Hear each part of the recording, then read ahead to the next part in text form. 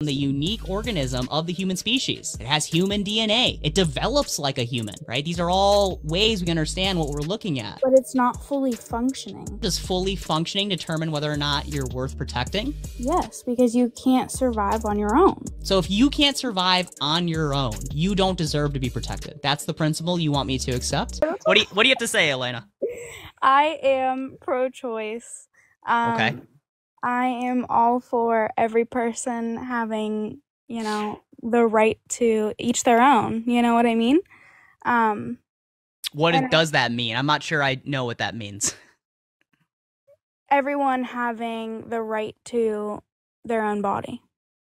Okay. But it's not just the mother's body, it's the body of another individual. That's what makes it so complicated.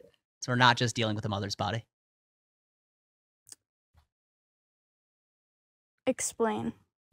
Well, the baby in the womb has its Mhm. own body. It has its own being, its own genetic code, its own sex determined at conception. By Uh-huh. four weeks, it's going to have its own fingernail. It's going to have a heartbeat, Mhm. right? Mhm. At, at five weeks, you're going to see kidneys starting to be formed. I mean, Okay. this is a its own body um, with its own organs, So, right? can you remove it and put it somewhere else? At four weeks? Um, would that be good for the child? I don't know. You tell me. The answer would be no. To remove the child from the environment that is needed to sustain the child's life would not be good for the child, so you shouldn't do it. If there was like a like some type of like surrogacy thing, do you know what I mean? Like there could be some sort of It's where you can transport the baby that's developing within you to another womb and use them as some sort of vessel to carry your child. I mean, honestly, it might not be a, a person. It might have to be like um, machinery. Um, yeah, I mean, I think that if that kept the child alive and it didn't affect the development of the child in some negative way, then I would. I, I'm, I'm gonna. I'm telling you right now, I'm against that. But however, that would be a much better outcome than offing the kid. So I would make concessions there if I absolutely needed to. But that still is is quite weird to me. I think that you're obligated to your child, and it's okay to say that we should uh, expect mothers um, to care for their children. Uh, but if that was available uh, and that's what we had to do so that we could get people to stop offing their kids, then I would do it. I think the biggest problem is both sides of this. Our biggest arguments are what if. You know what I mean? Like what if um the child stayed and became you know, I hear a lot of those excuses like, oh, they're going to become a genius or Well, no, I, I don't actually care if the child becomes a genius because I think that human value comes from a intrinsic matters. just as a human being, they're, they're I'm saying they're placing value, whether it be high or not. You know, they're Yeah. a genius or not. It doesn't matter. They're just placing value on something that's not alive. Okay, well, it is alive. From the point it's conceived, it's alive. So It- it's an, it's their- developing, it's growing, the cells are it's in dividing. their- it's in there learning trigonometry. Uh, no, but a lot of people will never understand trigonometry somehow, some way. But that doesn't mean that they don't have Ah. value because their value comes from intrinsic, uh, an intrinsic reality that they are of the nature of a human, and we value all humans. So if you value all humans, why are you not Sure. valuing the mother Well, we do. How can you? But how can you force them? You can't force anybody to do anything. Well, we can. We can have expectations of our fellow brethren course, to act in a certain way, right? In the same way, I, ex- you know, people might expect you to follow the traffic laws or, you know, not off your neighbor if you get mad at them. We Mhm. can expect a mother to care for her own kid because that's good to do. A lot of people have expectations, and it sucks. You know. Yeah, well, that's part of life, right? We have things that we should do and the things that we shouldn't do. I think a good principle in life is to do good and stay away from evil. And there's no way reason we have to protect an evil act like abortion. So, uh, I just don't get it. That's uh, Well, do you understand that this is a human being in the womb? I do. And do you okay, understand? human being's alive. So the basic Yeah. principle is you don't off innocent human beings. They have not done. They're they're not anything yet. What do you mean they're not anything? They're a unique person. If you love them, they'll become like you and I. What defines a human? That organism, the unique organism of the human species. It has human DNA. It develops like a human. Right? These are all ways we understand what we're looking at. But it's not fully functioning. Does that matter? Does fully functioning determine whether or not you're worth protecting? Yes, because you can't survive on your own. So if you can't survive on your own, you don't deserve to be protected. That's the principle you want me to accept? Seriously? Does that make sense to you? Is that a good principle to live by? Those who cannot survive on their own, let's not protect them. You're completely misunderstanding. Well, you have to understand that we have to under, we have to comprehend the principles of the matter. And you're proposing an idea that would operate on a principle that I think you're realizing intuitively would lead to some very bad outcomes. If we just value humans because of what you contribute or your ability to survive on your own, whatever that means, a lot of human beings are not going to be protected. I would even argue every human being is not going to be protected because we're very dependent creatures. We're social beings. We thrive in society and we have to depend on other people to live the lives that we ought to live.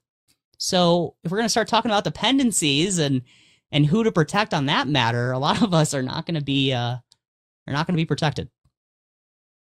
You just can't force a woman to turn her body into a house without permission. Well, I'm not forcing women to get pregnant. I'm not forcing Oh, women to get pregnant. that, but you're forcing the like the full term to carry and everything. You're, f- you're forcing yes. the birth. So Yeah, I, I am I am expecting you to care for your child, and if your child needs you in the womb, you ought to care for that child. If you're the only mm-hmm. person that can care for an innocent human being, yeah, you should be uh you should be expected to care for said child. Yeah. Um I can't you know, even. I like, live by let me tell you another principle I live by. We shouldn't give protection or uh legal rights Exactly. this for is why we people to do something for people Ladies, to do something that they shouldn't picked the do. You would pick the bear? What are you talking about? What bear? What? I would pick the bear. Over me? Yep. Why? What have I done to not be picked over a bear? I feel like I've had a really nice conversation with you. It's been very cordial. Oh yeah, I I can definitely respect the fact that it's been cordial. I've had more heated discussions about this, but um, no, I mean, I'd rather just make it quick. Just make it quick. What do you mean make it quick? I wouldn't hurt you. I would never hurt a woman. I don't know make what quick? What do you think I'm going to do? I don't know that. I don't know Okay. you from anyone else. Do you have anything else to say about the topic? Um, yes.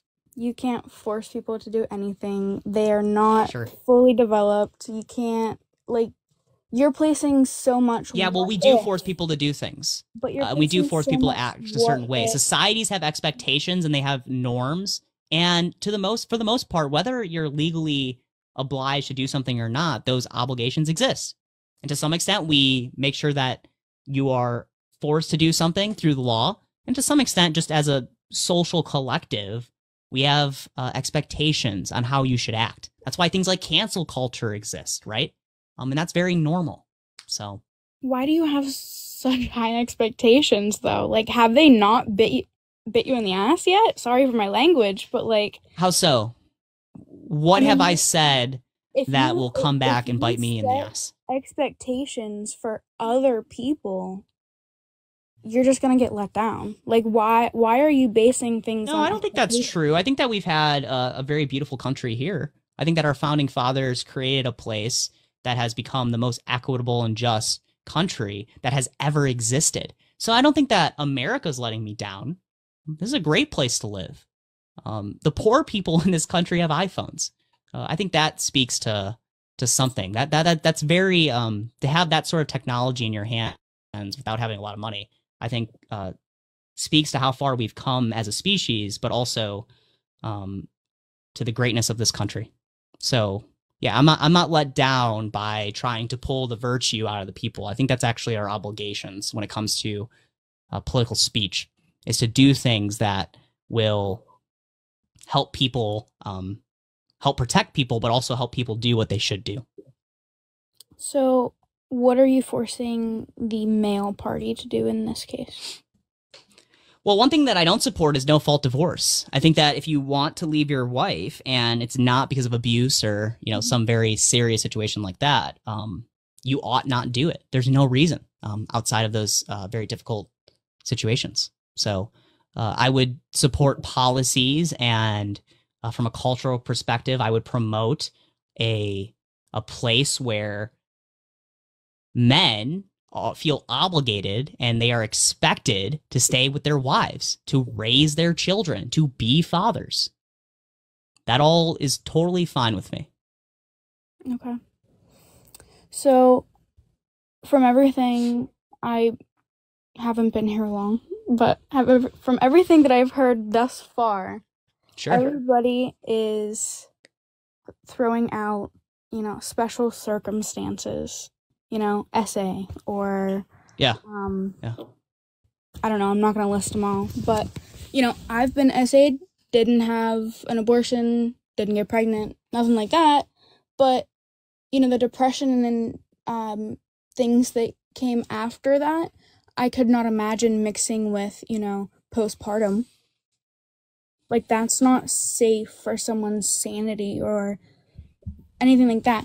But regardless, there's so many circumstances that everybody is listing in here and I just want to say there should not be special circumstances. Like why are we singling things out? Oh, because these people are they have a special case. Nope, they're allowed. It doesn't matter. So I, I don't really know what you're trying to say. Do you think that you should be able to off an innocent human being because your life is going to be difficult? Yes. I disagree. Why can't you off a one year old then? Why don't we allow that? Or should we allow that? Would you make that argument? They've already had potential. They're fully grown and they honestly They already had potential? What do you mean by that? They're fully developed. They're not fully developed. That's not true. I'm saying all of their organs are there. Like, uh yeah, a lot most of their organs are or all their organs are there in the womb at yeah, some they, point. Yeah, every child needs guidance and but like they need to be fully grown. So you're everybody like you were talking about. What like, does that mean, fully grown? Do you mean when the brain fully develops? When you're like yes. 25, when it finishes developing? No. Can you even make the argument it goes beyond that? What are you talking about, fully grown? Organs, like every like your. Do you believe that the organs of a one year old are fully developed? Full term. Okay, but that doesn't mean anything to me because you're saying fully developed and when you're outside the womb you're not fully developed you're still developing. Children are adolescents. They are in the stage mentally. of growing. And you yes, say mentally? Yeah. No yes, physically as well. They are physically growing but they're not producing organs. Okay not, why does that matter? They're developing they're, not, they're still developing. What's the point here? What's the principle? eyeballs. Sure I mean, the eyes begin within the first trimester. I don't know what the point is here. I'm What's the point? Just because the organs are, are present, so you would have a cutoff inside the womb? The organs are present inside the womb. Okay, but they're not self sufficient. Uh, I don't even know what you mean by that. They're not self sufficient. Um, I mean, if they're not self sufficient in the womb because they're being sustained by a second party like the mother, then they're not self sufficient outside the womb because they're still going to be sustained by a second party, their mother or some sort of guardian. So I don't know what you mean by that term, self sufficient. The being's going to be dependent on you inside the womb. And honestly, it's going to be a lot worse outside the womb because the being's going to be even more dependent on you. It's going to be a lot more work. so I don't know. I think that if if dependency is something that you care about, then maybe you should support infanticide because um, it's a much bigger obligation and form of dependency outside the womb. Actually, there's much more you have to do. But I guess I'll let the mothers speak on that. I think a lot of them would say that. Not to say pregnancy is easy. Don't get mad at me, moms. Um, but I think that children are very difficult to raise. A little bit. Um, I mean, I don't think we should be, again, forcing Pro Life Sam said yes, and she's a mom of two. She agrees that it's quite difficult to raise them outside the womb, maybe even to the extent that she would say harder than inside the womb. So I don't know. This this whole idea of dependency, I don't totally buy. But anyway, Elena, or Elena, I do want to end. So I appreciate you coming up. I appreciate you being uh, good faith. That's going to be it for me tonight. Okay. Yep. Have a great night. Thanks for your time. Yeah, you too. All right, that will be it for me tonight, guys. I've got the Discord server. It's a great way to support me. It's away from these big tech platforms. People on TikTok get taken down all the time. Um, I'm going to be doing a lot of stuff on X. Uh, X at one point did not have a video feature on their spaces, but I just looked the other day and they do. So I'm going to try doing one of these over there at some point. Um, so if you want to follow me on X, it's also a great way uh, to to not miss out on this type of stuff because uh, it might be full time over there at some point if we can if we can pull pro choicers in. Um, I've never done it yet, so it's something I'll have to experiment with. Um, but I appreciate those of you who've been here the whole time. Uh, maybe you've just been here for a few minutes. I hope you've enjoyed these conversations, uh, and I hope that if you're pro choice, you've at least considered the pro the pro life position. That you understand that it's good willed and it's based in equality the equality of value between men and women, between child and adult, and this principle of protecting a child's life, um, which I think at face value, you can all probably accept are, are good things in our life.